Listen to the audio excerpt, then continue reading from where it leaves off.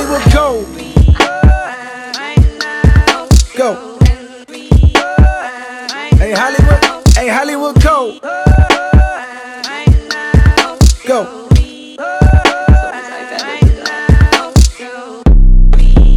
Are we good? No, it'll be it'll be okay. And Hold it- on, it- hold on, hold on. All right. and we're up. We are a go. All right. Welcome back to the Martial Media Podcast. I hope our audio is working. If it's not, uh, feel free to yell at us in the comments section, but it should be. We have uh, Ron Balicki and Diana on this Inosanto joining us on the show today. How are you guys doing? Great. Different times. Doing good. I know Ron is in Germany. Uh, Diana, you're in California, right? That's in California. Okay, and then we're in Utah, so all over the world. All over the world. So it's been a little bit since we chat. What's been going on? What's what's new? I mean, I know some of what's new, but uh, we'll we'll start with you, Ron. You're in Germany. What's going on there? Uh, I just got here yesterday. I was in Istanbul. I was teaching out there, and uh, uh, I'm here with Cold Steel doing a a. It's like a police show. It's called Iwa, and uh, I'll be here for four days doing that, and then I go on to uh, near Hamburg uh, to teach another seminar. Then I come home. Nice. so busy. Yeah. Well, then I extra yeah. appreciate you taking the time because you got to be on some jet lag there. Yeah, Make- I was just telling Diana, I'm like so tired right now. Oh yeah. All right. So- Well, we'll try to make this fun for you. I see uh, comments and stuff. Is anybody saying that anything's messed up, or are no, we they're giving us a thumbs up. Oh, cool. Everything's working, so Okay. we're golden right now. So guys. while I have both of you, because Diana, I know you have to go um, in a little bit here, so we'll probably only have you for the first segment. Um, what's what's been going on with you out in California there? Uh, well, I well, a lot. I'm I'm actually getting ready in the next uh, week. Oh my gosh, a week and a half. I'll be heading out to New Mexico, Las Cruces, for the Bataan Memorial Death March. Okay. Familiar with that, but it's where literally uh, people in memory uh, go. It's a, it's more of a marathon, and they have uh, different divisions. Some where they they track like 26 miles with uh, uh, heavy duty, you know, bulk on their back. Some do it, you know, freestyle. Some are going to be marching, uh, and it's just to pay tribute to all those vets that um, actually uh, had to go through a lot during but the Bataan uh, Bataan Death March, and it's amazing. Um, it's grown now from went from 5,000 this year. They're expecting, I think, 10 to 12,000 people to Holy cow. Yeah, and so my cousin, uh, who's uh, Captain Susan Sobrepina, I think I told you about her. She served in Afghanistan, Apache pilot, West Point grad, recipient of the Bronze Star. She's going to be there. Uh, we're joining uh, General uh, Tony Taguba and the uh, FilVetREP people. Um, um, the day before all this, these marathon different divisions, um, will be he will be handing out the Congressional Gold Medal to surviving vets from World War II, and uh, um, posthumously, posthumously uh, also family members will be there receiving the Congressional Gold Medal uh, on behalf of their loved ones that served uh, So- during World War II. Is this something that you looked up or that you were invited to? I mean, what do you do to get ready for something like that? It sounds quite arduous. Well, I knew about it before. I'm just doing the honorary march. That's 14 miles. Okay. okay. Just So- 14? honorary march. I, my cousin's doing the 26 one. I'm, Oh, man. but um, my basically, I when I had, I think I had, I think I had shared last time I was on your show that I had been at the White House. And so when I was with all these Filipino American activists, they were the ones that were explaining to me that, hey, are you going to try to come out to the Bataan Memorial Death March uh, Marathon? And I'm like, what's this? Tell me all about it. And so um, they had me, uh, they explained to me what this was about, and it has just grown. And the cool thing also is working with Cold Steel, um, and Ron can tell you a little bit more too, is we will be also introducing uh, the uh, the Filipino Memorial Bolo, which is this amazing, amazing weapon that uh, Cold Steel created, and it was uh, Ron was actually the one that kind of thought about this as a way of raising money for all our surviving vets and continuing on education for about um, you know about what happened to our American and Filipino soldiers during World War II. You know because it's important to remember history. Right. Well, Well- unfortunately, we tend to forget it a little bit too fast nowadays, and you see the results Yeah. of it. So where did all this cold steel stuff come from? Because I've heard cold steel quite a lot now. Yeah, let, uh, well, Diana, let them first know that I'm about, you were a large part on helping getting the legislation passed Oh, to have that's honored. It was a team thing. It was a team thing. Um, you know, Jake, you probably know the the martial arts community, particularly for older generations like your baby boomers, your you know your World War II generation, even uh, Generation uh, X. A lot of them are tend to be uh, very uh, conservative and uh, you know uh, demographically more Republican. So, and of course, I came from a bipartisan home.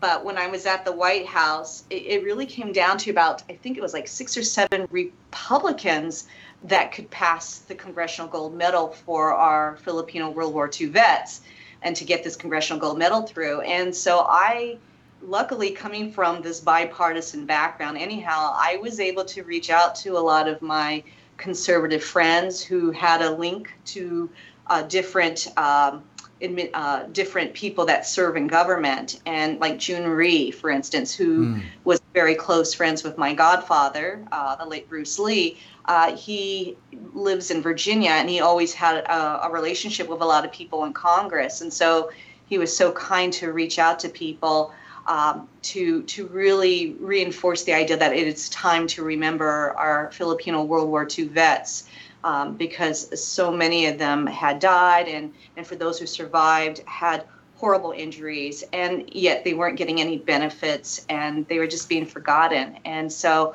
collectively, all together, people really, this really was a bipartisan bill, and um, so, uh, and it was uh, really, I have to say, it was a, a whole group of us. Uh, collectively coming together and it was the right thing to do It seems so- like something I've noticed too is that politics doesn't seem to really infiltrate martial arts that much. I mean, I, I'm I'm friends with so many people with so many different political backgrounds, but it just never comes up. You just get together and train, and I've never really. I mean, that's one thing that I really do appreciate about martial arts is its ability to bring people together and it seems like i mean to, the fact that you guys come from such a martial arts background to be a part of making this happen i think that's kind of a testament to that i don't know what your experiences have been if you've lost friends over ideological differences or i, I don't know what other people's experience is Yeah, um, for me, you know, it depends. Um, for me, it's it's always been about looking at the policy, not the party. For me, that's and I had to kind of grow up that way. I don't. I, Ron came grew up in Chicago, but you know, I had a mother that was Republican. She still is Republican, and my grandparents were Democrats, and they were activists, and and uh, they were farm union activists as well. So, um, so I was always lucky that I had parents that kind of reinforced the ideal to be respect respectful of people's uh, you know beliefs, kind of try to see what it is, what they're going through from their perspective, and um, you know, today, um, sometimes there have been some people that have said things that I go, oh my gosh, that's just shocking. And that's really because it defies my martial arts philosophy, not my political uh, philosophy, if that makes sense. yeah what would be what would be an example of something that goes against your martial arts philosophy Well, I mean, okay. So, for instance, you know, Ron and I, um, in our years as we were, you know, in between working in Hollywood as stunt people, we would have to uh, travel to do seminars, and I was stunned that in some, especially in certain uh, rural communities or smaller towns, they couldn't. You know, I was surprised that certain friends of ours felt uncomfortable that um, maybe possibly having a gay student or somebody that was from the LGBT community because they were afraid what number one what it could do to their business. And there was all kinds of complications that could happen with that. I'm like wait a minute. And this was in the 1990s and i'm like this is weird to me because you know I- you know i come from a family where um, as i last shared it's a it's a biracial family. My mother's white my dad's asian. And you know they were married during the uh, before the civil the ban on interracial marriage was lifted you know in Oh, wow. california. And so i mean it's even it's daunting to think that even somebody like ron and i we could never be a couple if we had grown up uh, in that era that my parents were married and so to remember that kind of prejudice and racism that my parents had to go through i to me, hate is hate, and that also applies to the LGBT community. To, to, to reject somebody based on their sexual orientation was just uh, ridiculous to me. And so, And Ron we've, and I- and we've seen, I think, that that's not the issue when it comes to impropriety in schools. It doesn't matter what your orientation is, issues are going to happen regardless if you're not diligent about keeping a proper atmosphere. Right. So for for me and Ron, that's when we decided. Um, you know, I said I really wanted, and especially after the Matthew Shepard case, uh, um, I I felt compelled to write the Sensei and make this into a movie, and you know, you know, apply my martial arts philosophy because um, to me, you have the right to defend yourself against hate and and self hatred. You know, that's the whole theme of my movie. You know. Um, I don't know, Ron. What do you th- do? You have anything to add to this as well? No, no. I- You know, sometimes I will go that political route, and Diana will stop me in my tracks and say, "Ron, you know, my whole thing is I just believe people should respect each other, and we live in a time now where, with social media, people will just speak out, and they get passionate, and I think that they." They don't talk the same way they would if they were sitting in the same room. It's almost like Definitely. people cars where Yeah. someone will flip you off for you know like going in front of them but if we're on the street they wouldn't do that you know walking next to you Yeah. you know and and i i just i uh, you know and i think that's part of my martial art belief too is just respect people Well, and that's an interesting point, is because that is very different. I mean, I've noticed that even on the podcast here, that the way people converse when they can even see each other is very different. There's like this permanence to to social media. You're writing something in text that people can, I mean, off the fly that people can go back and analyze later. So you're not putting a whole lot of I don't want to say you're not putting thought into it, but it's just a whole different game where when you're having this live time back and forth, you can work out ideas as you're speaking to one another. And it doesn't seem like that on social media. It turns into this big Twitter war or whatever. Yeah, it's almost like fast food communication, you know, and it's really long run not healthy for you. you? Hmm. Right. You're- Might taste good. Yeah, yeah, it might taste good, it might fill you up for that moment, but in the long run, I mean, it's so easy for people to take you out of context. And, Yeah. Um, and you, you, you hear and now. misinformation that goes out there that people are passionately arguing over Oh, yeah. I got Oh, yeah. Yeah, like I was telling Ron, I remember when I first met my agent, I was stunned because they actually there's a video out there that somebody cleverly did of my godfather playing ping pong with nunchucks, and they think it's real. I'm like, that's not real. Yeah, the first time I saw that, I was like, wait a minute. Think, and that was made in the was that made in the 90s? They did a good job. Yeah, I Yeah. don't know. I think it's made later than that, but but it's it's yeah, it just shows you you can sell anybody anything. Oh, yeah. internet now. Well, Yeah. well, okay. So I I know we've got a lot to catch up on, but I know we only have you for a short while, Diane, and I know you're worn out, Ron. So I mean, we normally do an hour and a half show. I don't care about that today. I know you guys are busy. I'm just happy to have you for as long as we can uh, get to you. But I wanted to talk about uh, Alita Battle Angel because you guys worked on that. Uh, I went to go see it. I took my daughters. Everybody loved it. It was a lot of fun. Um, and I, I could swear I'm watching it, and I'm like, I. That looks like Diana, or that looks like Ron in certain areas. You know, I'm Well, sitting there the like, eyes look like Diana. The eyes look like Diana. Yeah, yeah, yeah. Rosa did that well. But I mean, okay, so there's this scene where she's in front of a mirror and she just got this new body and she's kind of running through some stuff in front of the mirror. And I'm like, that looks oddly familiar. So, I mean, what was your involvement in this? I mean, Are you talking about the Jet Ching Choi? yeah, Yeah, yeah. I knew it. So what, what's the process here? How did you guys, how did this all come to pass? I know we touched on it the last time I had you on, but it's in theaters now. If anybody hasn't seen it, go see this movie. It is very exciting. Yeah, and it's doing well uh, around the world globally. I mean, it broke all kinds of records in China, so I'm like really excited. Um, you know, it, it, the way Alita Battle Angel came to be on our lap was actually through a stunt coordinator by uh, by the name of Garrett Warren, um, who actually, God, we go far far back as uh, Walker Texas Ranger. I worked with him and did some fight scenes with him on that show, but he reached out to me and. Um, I and said, you know, I think I got Rosa Salazar, who had just did the maze. Uh, was it the maze? The maze runners. And uh, you know, he at that time Rosa was uh, also training with another wonderful colleague of ours named Keith Cooke, and who's a wonderful. I mean, he's also talented. You might, as Keith Hirabayashi also. yeah, Yeah, that's yeah. right. He did movies with Cynthia Rothrock, I think, what in the 80s and 90s. A whole talented martial artist. But I, he felt that it was important to give her a much wider spectrum of different martial arts, and so uh, and also you know maybe establish a female touch. And so originally, he, you know, he talked to me, and I've been working on, as you know, uh, my the project I'm doing about my father. So I said, this is going to have to be, you know, something um, I, that I bring Ron in because, you know, Ron and I are team, and I couldn't always be with Rosa. So together, collectively, Ron and I both trained Rosa, and we gave her a, a buffet of other martial arts that she wasn't exposed to.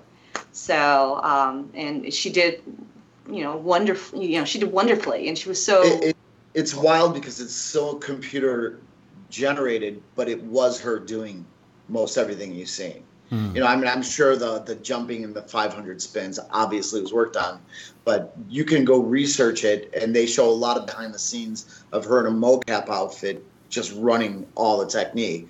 So I was I was happy, and she she was uh, she's like full of fire. This girl, and she she was cool. She was great to work with. That's awesome. For people that are watching, um, Ron, your screen froze, so people don't freak out because we can still hear him, and he's in Germany. So just relax a little bit. He's not a ventriloquist. He's we not a promise. ventriloquist. If he was, he's the best one ever. Um, s- so what? Okay, so you, you get an act, you get an actor and actress, and you get a finite amount of time to work with them. Um, how long did you guys get to work with her, and then how do you prioritize training to get what you need out of them in this finite amount of time when they don't have years and decades to uh, hone skills? Ooh, that's a good question. Um, We, we were with her for four months, something like that. I can't remember. Gosh, I can't. Isn't that funny? I can't remember because she, there was a time, um, for better or for worse, she was training out there. But there was a moment where she did get sick, and you know, and she was trying to get better. She had bronchitis or something, which is She still kept coming. She wasn't feeling good. Uh, Uh-huh. Diana like ready to send her home. yeah, like go home, get better. But, uh, you know, God, I would say, or you know, a good length of time, you know, between spread between us and and Keith's school as well. So, um, but my goodness, I mean, we trained her in Muay Thai, we trained her in Filipino martial arts, we trained her in in Jun Fan Kung Fu, or you know, the philosophy of Jeet Kune Do. Uh, we trained her in French Savate. Um, we trained her in different forms of weaponry. Um, we did empty hand. We did uh, stick. I think knife too. Ron, did we? Um, Ron Yeah, trained her. we hit everything. We weren't sure what was going to be expected of her at that point, so we were just throwing everything at her, you know, so that way, you know, she could be camera ready from quick. Wow. So, uh, But Real quick, another- just because I know we, we, we don't have much time left with you, Diana, do we have any questions up for them that we should throw in before she's got to go? No, not yet. Okay. Um, after you. I'm, I'm still good. Don't worry about it. Okay, I'm sorry. I know, I know you're busy. It's just um, I, I wanted to ask you guys this too, because I mean, you, you mentioned before that you guys work as a team and, and you guys did this together. Um, how do you make that work? Because I mean, you know, Ron, you're overseas, you're traveling around. Diana, you have your stuff that you have to do. I would imagine there's times where you guys don't see each other that often. Um, how do you how do you manage that? It can't always be easy. Uh, I don't know. There's something maybe absence makes the heart uh, grow fonder. And, you know, uh, Ron and I, ha- we've been together for what, 20, 24 years now, babe? I mean, 24 years, yeah. Uh, and it's so funny. I was watching Yeah. an interview of Annette Bening because she and Warren Beatty have been together for 27 years, and you know, I, you know, Ron is my best friend. Um, we share a lot in common, uh, and so it seems it seems really natural, Mm. if that makes sense. You know, You know, you pick the right partner. we we traveled together for so long and and have done seminars together for so long. We know each other's movement. We know where we're at. We know uh, you know in a way we, we have the same mind when it comes to it. If if i'm doing something and, and maybe even if i, I, I she'll see where it's going to go or uh, vice versa and we just kind of know where each other where each other where we're at with the arts. And she's you know, a lot of times she'll say, you know, I think this will look good, good here, and she's right because she just knows. We just know each other in martial arts as well as we know each other as husband and wife. I mean, it's Very yin and yang, Jake. Very yin and yang. well. No, the part is though too. Like, um, I, I've we've trained men and she'll kind of sometimes kick back and let that male perspective of what a guy would do. And then we've trained women, and and it goes the other way. I mean, so far, like, uh, well, I, she had gotten Rosa. I, uh, she couldn't be there for a lot of it because she had another project she was working on. So I was there. But when she came in, it's almost like she's been there the whole time because she knows me. She knows the movement. She knows where we're at. She knows what we're doing. And it, it's not like, hey, catch me up. She just looks what we're doing and she knows she pretty much knows if I'm going to do something, what my next move is. I know, I know it's that way. So You when know, you uh, guys, uh, sorry to cut, when you guys uh, were first getting together, how much time did you spend training together and like finding time to actually just go? Let's go play. Let's go. Let's go run through stuff. Was that was that a lot of the time as you guys working together, or how did this synergy kind of evolve? That's how we got together. Is we started training together. Yeah. Yeah, I was training with uh, with another uh, one of my dad's students, and he didn't show up, and that is how we got together, pretty much. Uh, Yeah, I jumped. but uh, but yeah, uh, you know, gosh, that was a long time ago. I'm trying to think. It, it just became this kind of a natural thing. You know, I didn't even realize. Sometimes I didn't even look at it like we were training. It was just kind of a natural expression of of just being able to work out and play and have fun and. Um, so when we came together, it's almost like I could almost in, intuitively uh, anticipate what he was going to teach. You know. That's so And cool. uh, yeah. Well, how much? Okay, so right now, how much time do we have left with you, Diana? Because I want to fit in this segment that's going to be new on the show. You got about 40, uh, 45 minutes. Oh, we've got time. Okay, okay, all right.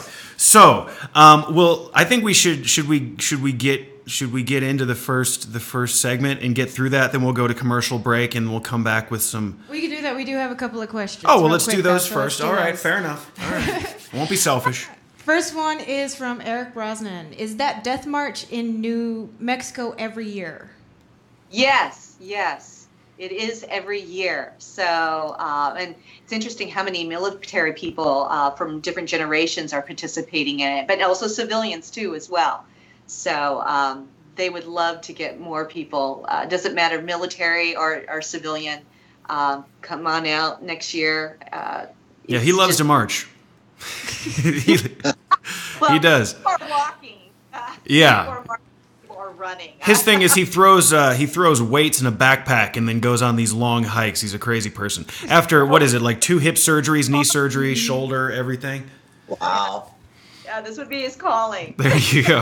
All right, that's actually my dad. He's got to take a trip out. Dad, you hear that? Why was I waiting for him to respond? I don't know. I don't know. All right, what else we got? right, next one is from Clive Turner. My only question is that in trying to find someone to buy the Balik sticks from in England, sticks. Balicki sticks. He didn't say Balicki. Oh, I'm just reading. Do you know of anybody that does or could ship, please? Thank you for sharing and inspiring us all. You are the royal family of our arts.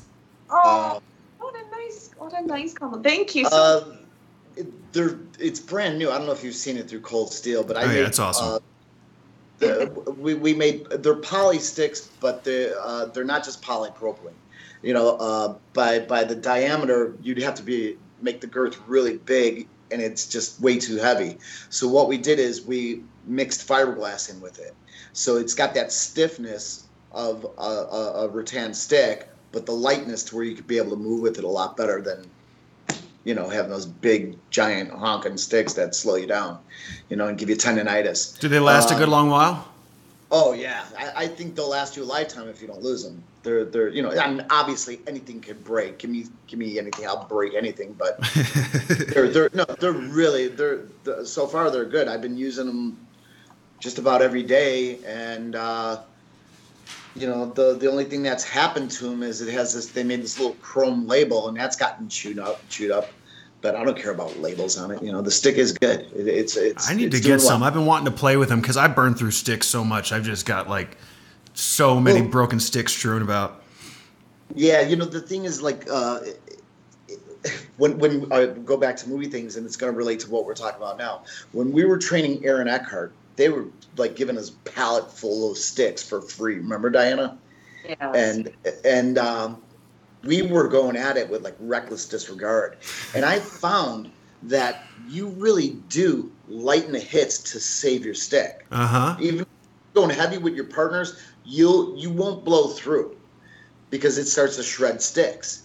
And I remember when I was training Aaron, what did we burn through? Like seven sets in a workout of sticks. You know, and it was good rattan. We were just destroying them, and we didn't care. We weren't paying for them, so we just throw them aside, grab a new set. and uh, I remember training with my students, and they're like, "Hey, Guru, can you lighten it up, man? You're killing my sticks." and, and and then I remembered after we finished the uh, working on the movie, I had to start buying my own rattan. I'm going, "Whoa, this is getting expensive." So I started lighting up my lighting up, uh, lightening up the hits. Yeah. Well, you know, with poly sticks, people blow through it like I was doing when I didn't care about the cost or or getting sticks. And and I just found if you respect somebody else's sticks, you're not going to shred their rattan using poly their the poly sticks that we made. They're light enough, and if you treat it just like you did your formula, uh, formerly, you know, your former pair of sticks, you're good. But if you're going poly against poly, you can just blast away. So they were pretty good that We way. gotta. Yeah. Yeah, we gotta play. we got All right, so I, I asked this before, but we were on a different topic. How did all this Cold Steel stuff happen? Because you're doing a lot of stuff with them, and they seem to be really involved with everything. How did that relationship form? Gosh, Ron, you've been in with them for over 20, 20 years now. You're involved. Yeah, I have. I I have. This year was 20 years. At the beginning of the year, I've been there 20 years. Um, it happened. Diana and I went to a Dog Brother fight once, and um, Lynn was fighting in it. The owner of Cold Steel, and he met me and asked me. You know, like uh, he asked me if I would train him. So I started to give him lessons. And 20 something years later, or whatever, I'm still there. And actually have- into- My Cold Steel Spartan right here. I love this knife. Yeah. I, I I'm the worst with cold steel knives because uh, I, I'm the worst at sharpening knives. So I'm either walking back in with my knives and they sharpen them, resharpen them for me, or I just show them my knife and they just grab it from me and hand me a new one. So if I ever leave cold steel, I'm screwed. You- it's gonna be so Yeah, you got spoiled. I actually had to get like a professional grade knife sharpening thing that I keep in the attic, and I'm up there grinding away, keeping everything. Yeah, no, I'm, I'm bad. Uh, The, I, you know, everybody says, uh, "Are you good at sharpening knives?" I go, "Yeah, I just hand it to them." it's really simple. Yeah, You're overthinking it. yeah. But with cold steel, it's cool because I, I go in and um, I do I do shows with them like I'm doing now. I train uh, Lynn. I train the staff there, and they'll bring me in for to help with testing products. That's my role there. So it's kind of cool. I get to go in there and cut stuff That's or break super stuff. fun, and to be able to get Yeah. input like when you're playing with stuff and a new thing that you want to do. I mean, you're I've I've noticed that my tastes as far as knives continues to evolve, and things that I used to love and carry all the time, I don't carry as much anymore, and to be able to have that input and insight and go make make me that, do that thing, that'd, that'd be cool. Yeah. Uh, you know, it's cool because if you have ideas, they'll run with it. Or if I have them, or input. I mean, that's why they're bringing me in for for input. But uh, you know, on the bad end of it is they'll get some exotic weapon or something. and They'll say, "Ron, come on in, let's spar this." So they'll uh, like, all right, my, the one story I always talk about. You know what a morning star is? You ever see those things? Yeah. Yeah, It's a, a like a mace. You know, it's Mhm. got the chain, and uh, so they had this morning star, and they wanted to to see how it was going. So they mocked up one. It was a, like a, a rattan stick with a rope with a tennis ball duct taped on the end of it. And they're like, let let's spar it, and I go, all right, yeah, fine. I jumped in there. That thing when he started going after after me. I blocked the stick part of it, but that whipped that ball around, hit me straight in the spine. Oh my gosh. I couldn't get up. You know, so I've been on the receiving end of like, you know, where it's not that fun to be at Cold Steel either. You know, um, it, you know it, it's. I mean, I would I wouldn't trade it for my life. I still like to spar it and feel it, but I've I've kind of paid the price a few times. you get to be the So- crash test dummy. yeah, exactly. Do we have any more questions we need to get to? No, not at the moment. Okay, all right. So are we are we ready for this? Are you ready for this? Is the question. Okay, so I'm gonna give uh, I'm gonna give a little preface to this. So basically, Ria has picked some questions. Now, what what's the structure of these questions? Just to All get, right, the, the structure of these, I kept it very simple. These are common sense questions, but sometimes they get a little tricky, and a lot of it's based off of rumors or things that we've heard throughout our life. Of you know, and a lot, they're true or false for the most part. If not, A or B answers. I'll read them out. Everything's good. You'll get about 10 seconds to answer. If you get them right, he's fine. If Well, you don't get them right, Ah! I get to hit him with a stick. no, Can I send a Balicki stick for that? please no, yes, don't make it worse. do. Please do. No. Uh, okay. All right. Pump Um, this up all day. okay. So um, we'll we'll play the bumper for it, and then we'll. Oh God. Okay. All right. he made a bumper for it.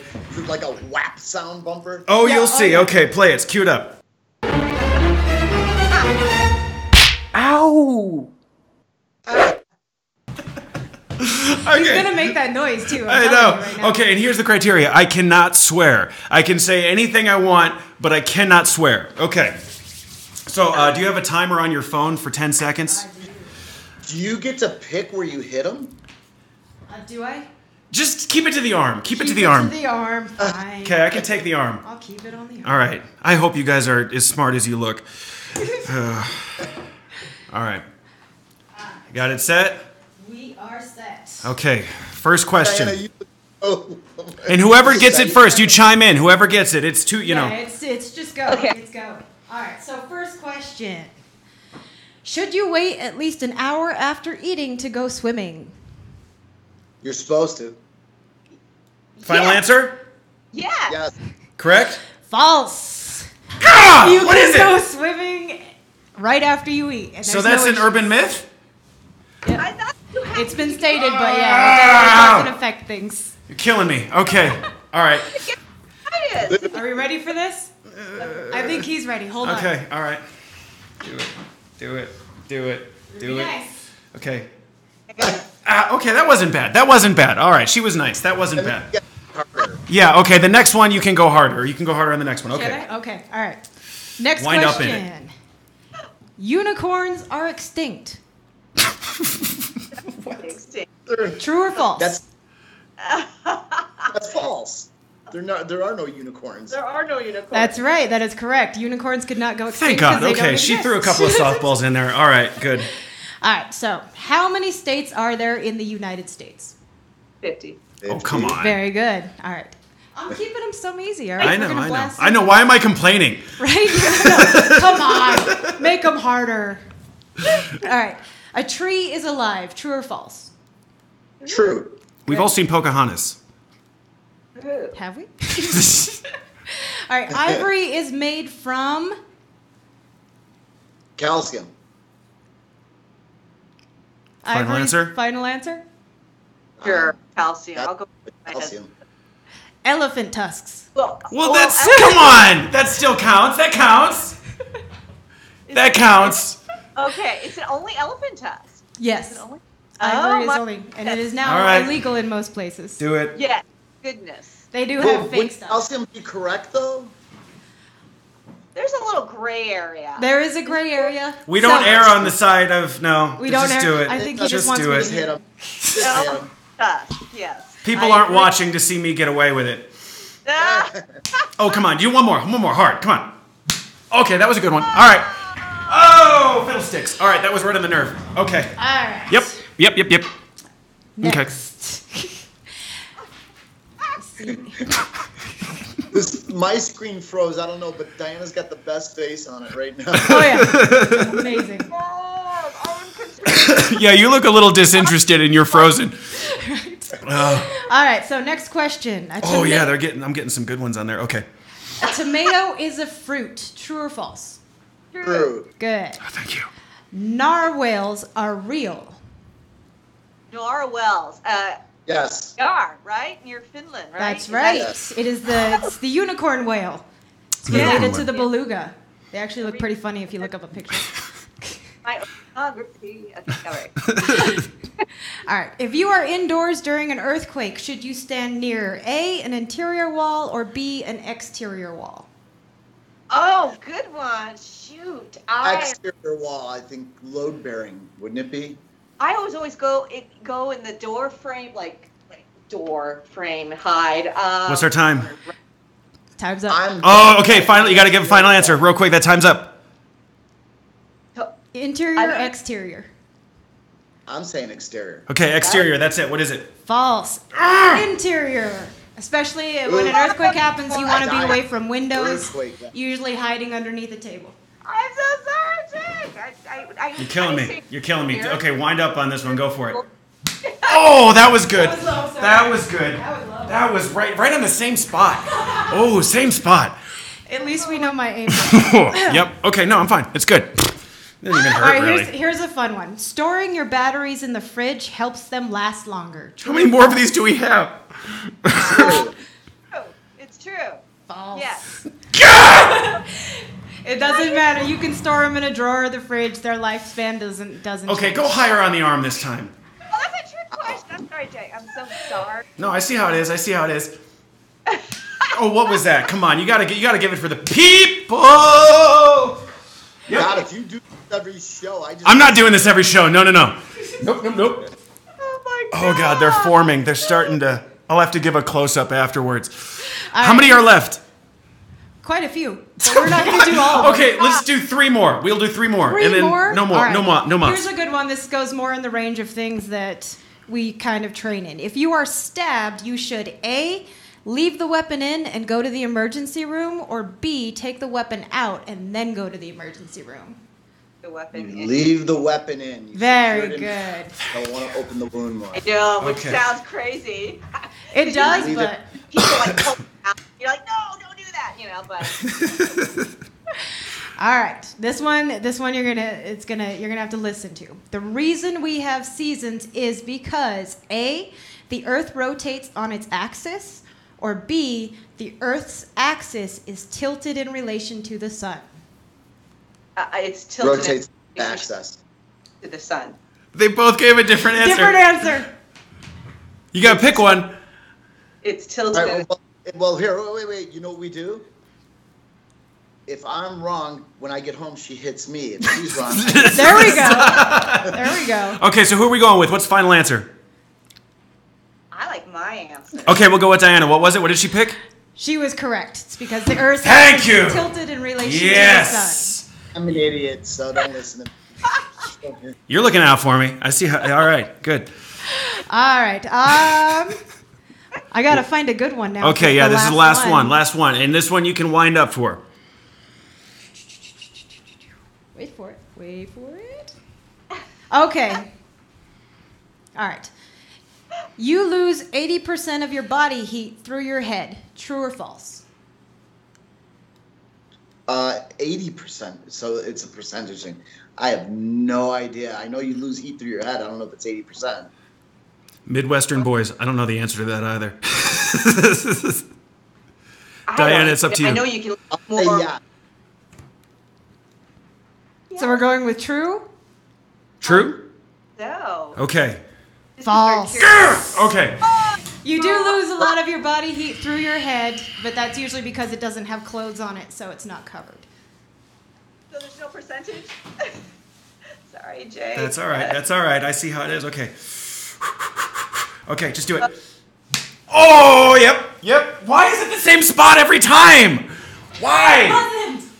Oh, fidget spinner. Who thought this harebrained thing up? I mean, I'm screwing these answers up. Sorry. Come up on purpose. It's for the people, Ron. It's for the Was people. this your invention, Jake? What?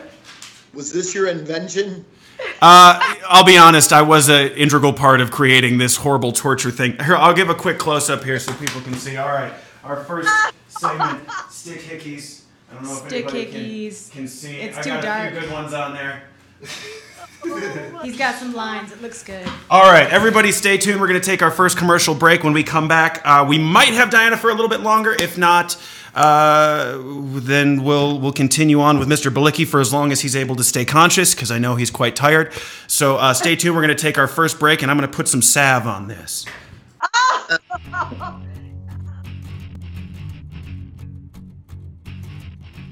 We work with Ron Balicki as our second unit uh, and as fight coordinator. Well, I told Ben and Keone that I really insisted on having Ron Balicki, and uh, we have a real interesting relationship. Uh, I'm teaching him knife fighting and sword stuff, and he's teaching me Kali and Eskrima. So we're kind of, you know, teaching each other. We're best of friends. I think he's one of the best, you know, fight coordinators and stunt coordinators in the business.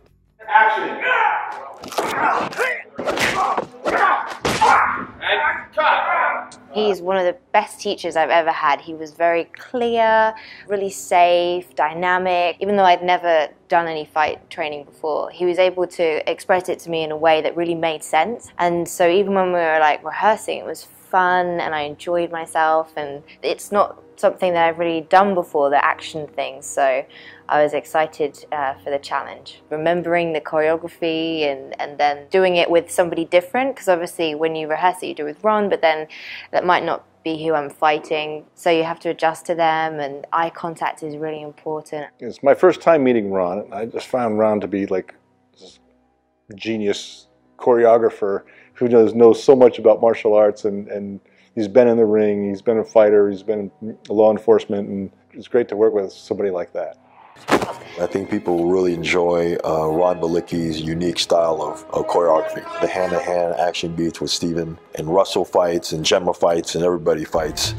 One of the pirates, Alazan, Ron Balicki, is one of the best martial artists in the world. He comes from a direct lineage of uh, Bruce Lee, and his wife is actually Bruce Lee's goddaughter. His father-in-law is Dan Inosanto, who was instrumental in developing Jeet Kune Do with Bruce Lee and actually taught Bruce Lee Filipino martial arts. So you will see a machete fight that it's, to me personally, I think it's off the charts. The moves, the technique and the caliber and the speed we were going, he used real machetes. It was weighted steel machetes and we went for it. There is nothing to this level that has been done on TV. Last ship, almost Sundays. For about six months before, or six months, I I, I learned Kali stick. So one day, a guy shows up at my door. His name's Ron Balicki. He's like one of the best Kali stick fighters in the world. So we went days and days and days, weeks and weeks, and hours and hours. You know, Stick fighting is a Filipino art. It's called Kali stick fighting. You use two and a half foot rattan sticks, and you basically try to beat the crap out of you know your opponent or the person um, who you're fighting with. That's probably, I think, that's one of the best things about acting is that you get to learn so many different skills. You know, and especially you're doing it with the foremost, the world's foremost expert on the subject. You know, Ron was one of the best stick fighters. He's one of the best knife fighters in the world. So he taught me knife fighting. And, and since in the movie business you never know what you're going to do next, you know, the Mm. phone could ring and all of a sudden you're you're an archaeologist, you're a whatever it is, and then you just go off and they put you with the best people in the world.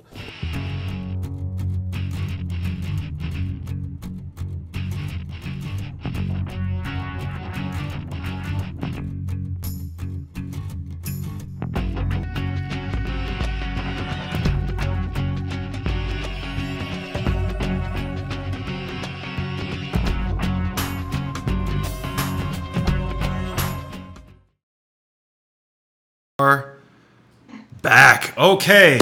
Welcome back to the Martial Media Podcast. We have Diana Inosanto and Mr. Ron Balicki on the show. We wanted to get to some more current events before we get into uh, more shenanigans. So you'd mentioned that Bolo before, um, and there's a bunch of stuff going on. So let's get into all of it. Well, let's start with the Bolo. So let me show you guys. Um, gonna, um, when Cold Steel and Ron and I discussed, you know, creating this memorial, this uh, Filipino memorial uh, bolo. This is, if you can see this, I'm trying to, I'm trying to back this up. Whoa, this is real. This is real sharp. But this is based on my father's uh, family line, and uh, again, um, this is going to be sold through Cold Steel, and uh, the proceeds from this will, uh, portion of the proceeds will go to help uh, our Filipino World War II vets through FilVetREP and uh, their um, charitable found uh, organization. So, um, But I it would- does come with sheath also. So they, they didn't have the sheath for you? Oh, I do have the sheath. Hold on, hold on. Ah.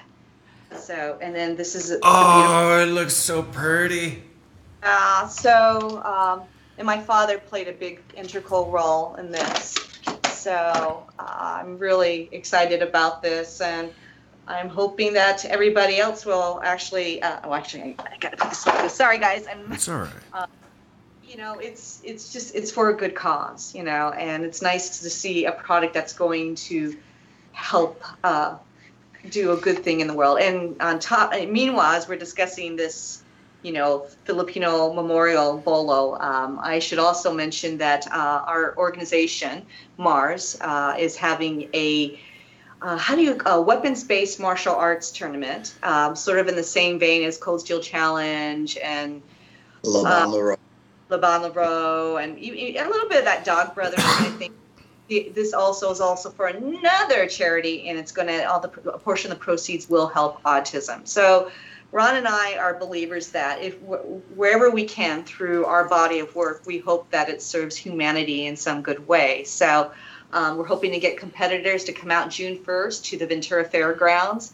Um, Cold Steel is kind of taking a back seat as we take the for, um, we're more in the foreground. Um, they're going to help sponsor us, but it's for a good cause. So some of you people, we hope that you might want to sign up and compete, and it's for the Mars Warrior Challenge June 1st. So where can they get uh, info on that with like rule sets and stuff like that, so people can prepare for it? Okay, so you can go to marsactiongroup.com. We're actually still still kind of building this website, but you can sign up there.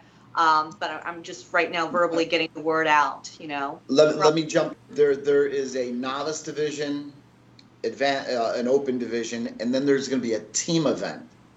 So, yeah, like teams are going not not all together, but it's like one man in, he gets killed, and it keeps going Oh, until okay. everybody's down.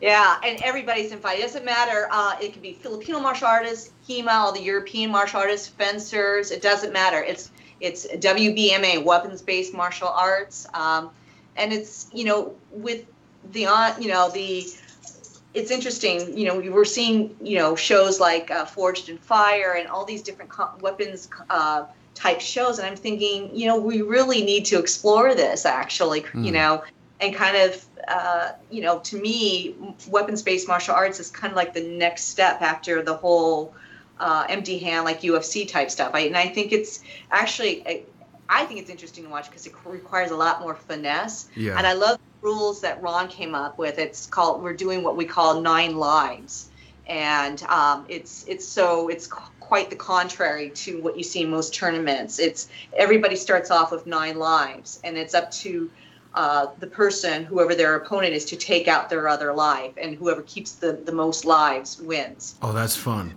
Yeah. I'll have to I'll have to talk with you guys because in that vein there was something that I've been working on for almost I don't know probably a year and a half just to structure an idea for kind of in a similar vein. I'll have to run it past you and you'll you can tell me how stupid and or awesome it is. Um, so so uh, there's real quick on that on that bolo. It's currently available on the Cold Steel website. It's it's uh, through Cold Steel. Um, the shipment is still coming in. It's, It- it's it's, on the boat. We're waiting for it to arrive. They they've shipped it. It should be any time now. So everybody's on pins and needles waiting for this thing. We Right. were so hoping that it was going to be there for this Bataan Death March, and I mean, there's still a chance. But I mean, the minute the minute it's in, you'll be able to order it and get it right away. And and a part of the proceeds do go towards the Phil Am vets, which is awesome. Lynn Lynn was really so gracious to do that. It was pretty pretty cool of him to do that. Well, as soon as it posts, then and I see something, we'll we'll start pushing for it too because those things are awesome. I mean, I mean, it's great that it's for a good cause and it's just a really cool sword. Yeah. So that helps. I, I think so. Price, price pointed it uh, fairly reasonable. I, well, it, it is more than fairly. It's reasonable. It, it's it, it comes in at like I think around two hundred something dollars. Oh, that's not bad. And, Uh, it- you know. no, and it's a full-on functional sword. You could use it. It's not a wall hanger. It's all heat treated, and it's it's cold steel quality. That's Yeah, awesome. my, pretty happy. My dad, we showed it to my dad. He's like, "Oh yeah." I mean, we all know the zombie apocalypse is coming, so it's, time to prep. We need to prep. I need another sword. That this bolo, the design came from your father's swords. Right. Yeah, that's so cool. So on that note, if uh, so, so we got to we got to the stuff that we wanted to get to. We have another segment here that is where we cover uh, news articles involving martial arts. Now I don't know what they are. This is Ria's thing, so I'm reacting to them the same time that you are. Uh, we call you this. getting- I'm not getting hit He's this not time. getting No, no, no. this This is the nice one. Okay, so we'll, let's uh, we'll play the bumper for that. We'll come back and we'll just see what's what's in the news of martial arts. Okay.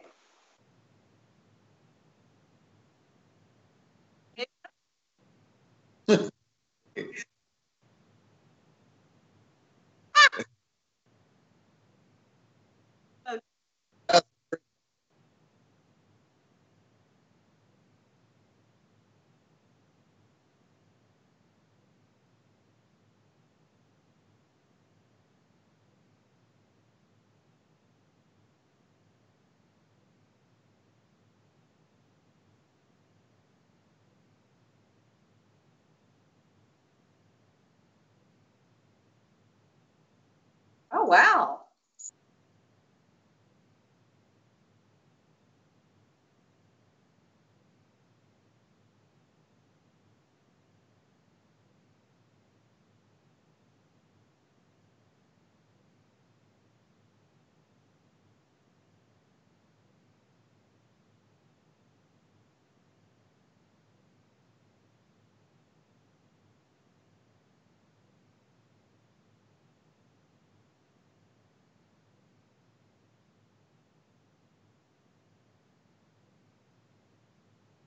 Wow.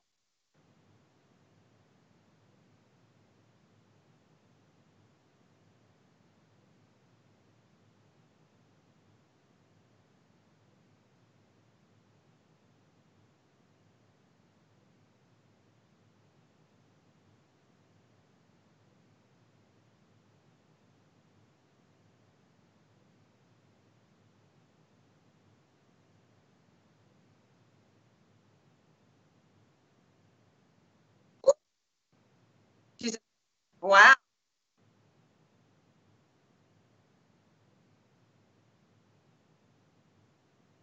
Uh, awareness. That's incredible. Seriously.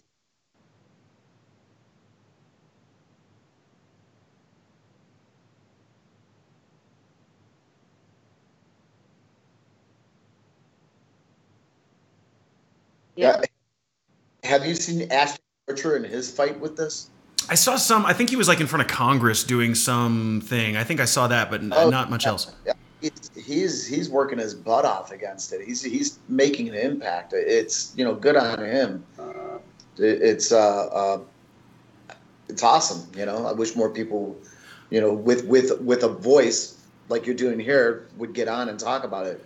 Well, it's it's something that I was completely unaware of until probably ten years ago. It was just something that kind of happened in the periphery, or you'd hear it covered in a movie or something as like this fictional thing. You're like, oh, it doesn't really happen. You know, it's just it's this horrible thing they put in a movie, and then to find out how prevalent this really is is just horrifying. Yeah.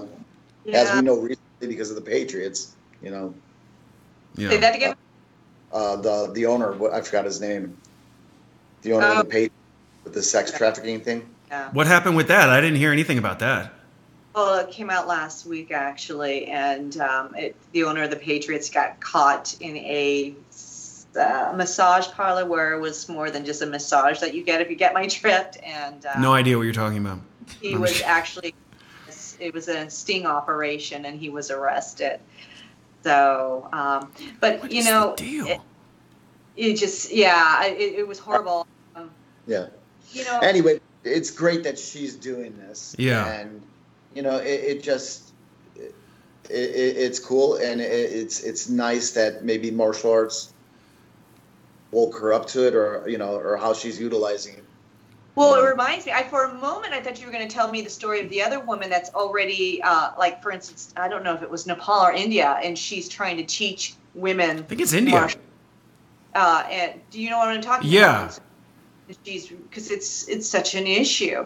But like I listen, my hat goes off to who's the recent senator just yesterday. Um, uh, you know, who just came out about being raped in the military. I mean, this is a, this is an issue that we're going to have to figure out uh, in in our world, and um, you know, it's going to take people to really step up to the plate and and and you know, kind of stand up to to the the night, you know, to people that almost don't want to kind of look at it, you know. Well, there's a dark there's a dark side to life, and there's a dark side to humanity, and it's we get a little wrapped up in our convenience and our comfort, and we kind of.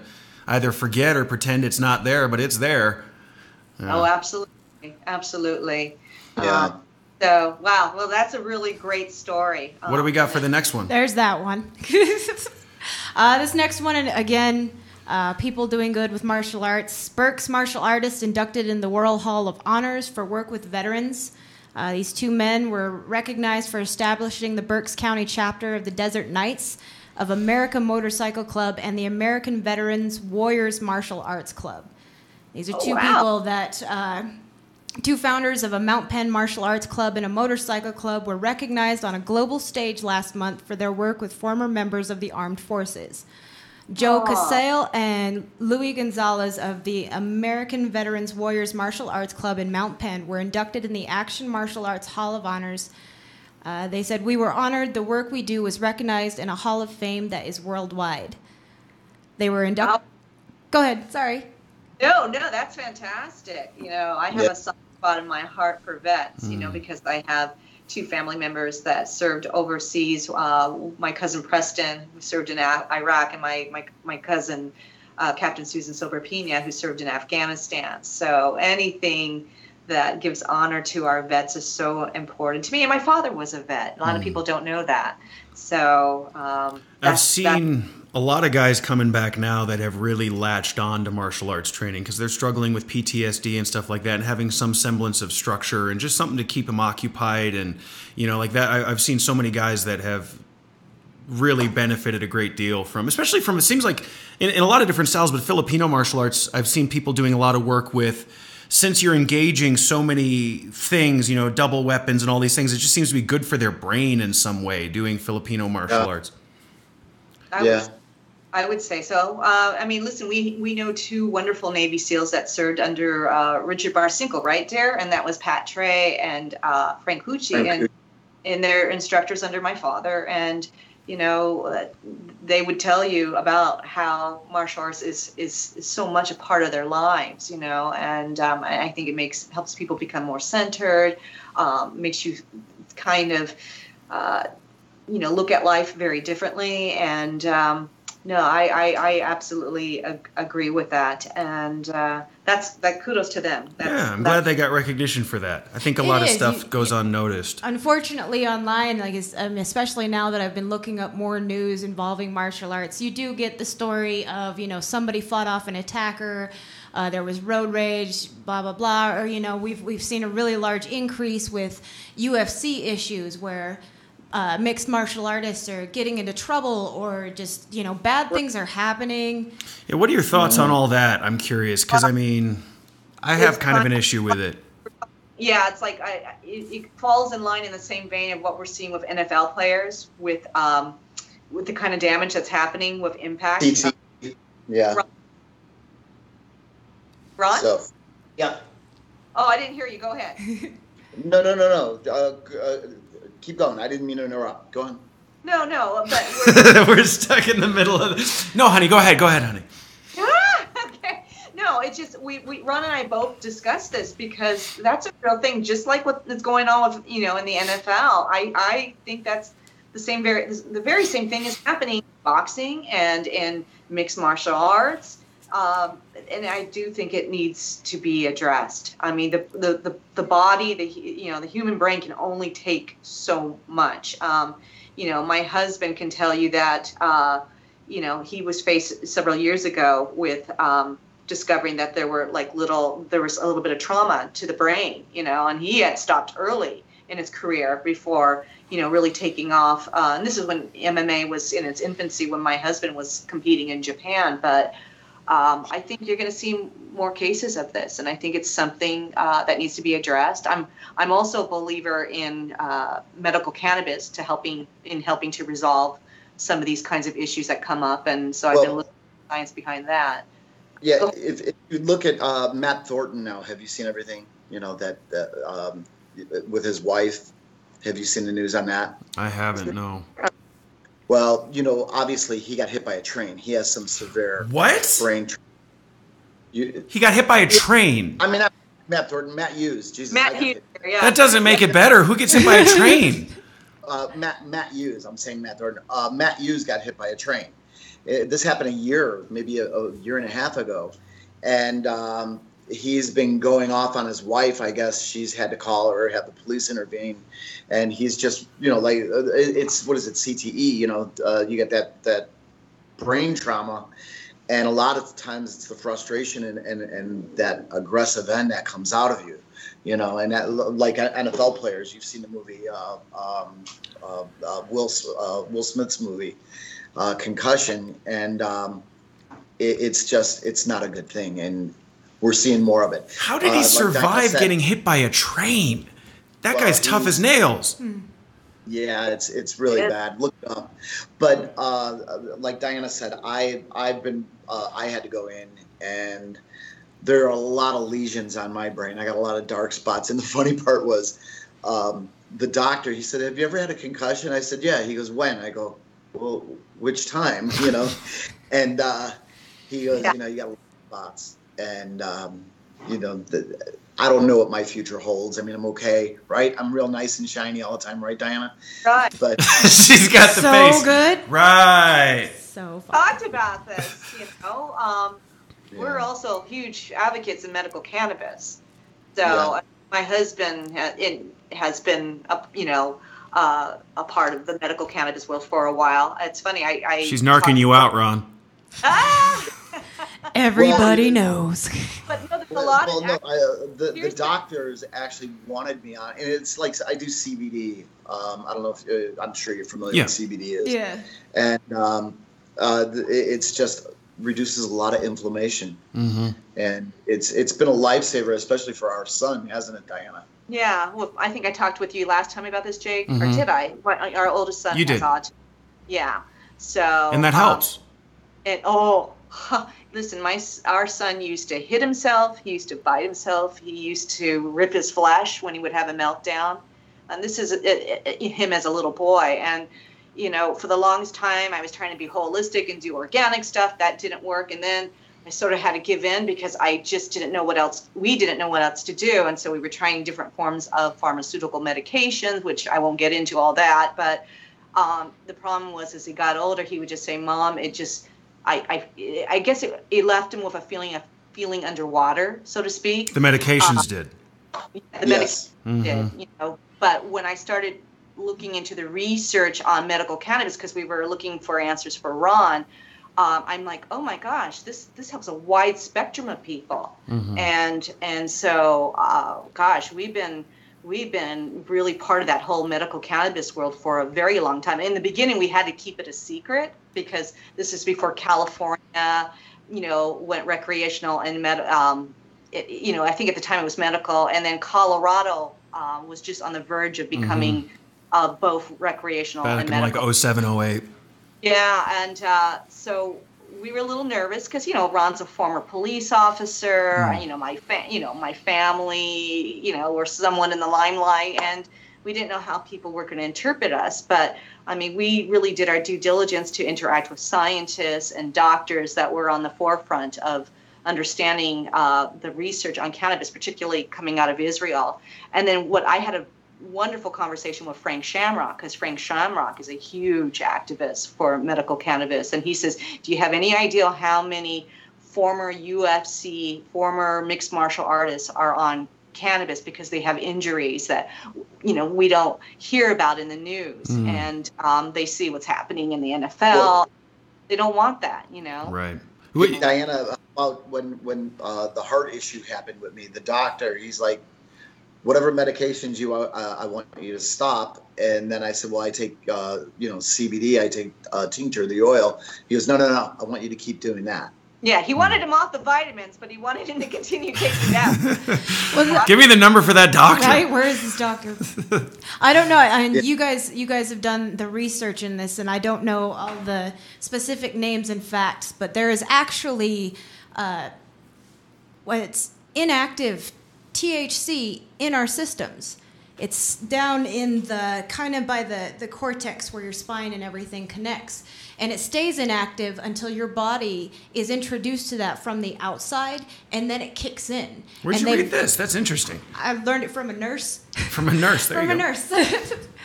so it's that we share in common with actually with cannabis, and that's why it's almost like it's like two computers talking, biological t- computers talking to each other, and they recognize each other. Like, "Hey, I recognize Hey, that. Come on." yeah. It- And it actually, I mean, like I said, you said you've, you've done your research and they, they did a lot of work in Israel. I've seen a lot of documentaries. Uh, there was a little girl who had seizures from the day that she was born and had no type of life until she started taking the oil. And now she can actually live a normal childhood without seizures. What is this stuff about Israel? I hadn't heard anything about Israel and cannabis. I don't know. It has okay. So there's a for all of you watching this. Well, we're on cannabis. I love this. Hey. topic. Um, um, so there's a great, uh, great documentary series called Weeds from CNN's uh, with Dr. Sanjay Gupta, and you know, I- and, and when he first did the very first. Um, episode um, you know people were like oh my god has he lost his mind but he was able to show uh, he talked with believe it or not, a doctor that we knew named Dr. Alan Shackelford, who, by the way, worked on the Sensei. Um, that's a whole other story. But um, he had been going to Israel for some time, and he was the first doctor that allowed for a child. He literally put his career on the line to allow for a child to take medical But- cannabis. No other doctor wanted to touch that. Yeah. And But they'll put them on Um, opioids, no problem. Right, exactly. They put him on, but it worked. And but but kudos to her dad because when he he was a military man overseas, and so he saw the research coming out of Israel because he was desperate because his daughter Charlotte was having like. I think around 300 uh, seizures a week. I mean, a week, and the, you know she was coming near death. And so he said maybe it's the oil we need to to try. And so that's how he ended up somehow uh, connecting with Dr. Alan Shackelford and these other th- these brothers that actually grow in Colorado. Um, and uh, you know the rest is history. I mean, a lot of families have left their home, you know, have left other states to go live in Colorado just Mm. so their family members could have access to medical cannabis. And there are I, we learned from different uh, conventions that we've gone to about this that there are now 90 90 strains of cannabis medic- um, that they didn't know. So it's not just THC, it's the THCA, there's CBD, there's, there's all kinds. And um, but CBD is most, uh, the- you know, w- seems to be on everybody's mind right now because of the You know- of it. It, it's funny. Some people say it's a placebo, and it, it, look, our son doesn't even know what the word placebo means, Mhm. and it's helping. You know, I'm all they're- for it. they're- I, I don't have. I mean, I I'm. They're talking about at least doing what is it? Uh, Medical. medical. in Utah here, It which I'm hoping they do. Because there's so many people that they're put in a position where it's right next door. All they got to do is go to Colorado, but then now you're a felon if you bring it back. So it's like just you know making it for people that do need it. Well, they've Yeah. had, they've had. Uh, I mean, it's it's been on the news for going on a couple of years now because people have been trying to get this passed. I mean, there's people that are paraplegics, uh, cerebral palsy, PTSD. I mean, you name it. These family. I mean, these are these are normal people. They have kids. They have wives or husbands, and they're just trying to live their life, and they want something other than prescription pills because Yeah. we They have kill you, seen man. What hate 'em. prescription pills can do but when you you know the the whole the whole thing that ha- has been mocked up and created about uh, cannabis and medical marijuana and weed in general just over the years it's slowly starting to take the turn where people especially the older generations are going oh wait a minute. It's not all dreadlocks and tie dye t-shirts. yeah. Now that's on board is on an advisory board for cannabis. That's a good thing. This is our kumbaya moment for you know Right. right. bipartisan issue right now that's actually bringing democrats and republicans together by the way. So I, i'm happy because i'm you know like i said I, i've seen what it's done for our family and i i just i know it could probably help a lot of other families Well, and I'm know. very careful too. You know, like young people that want to just do it because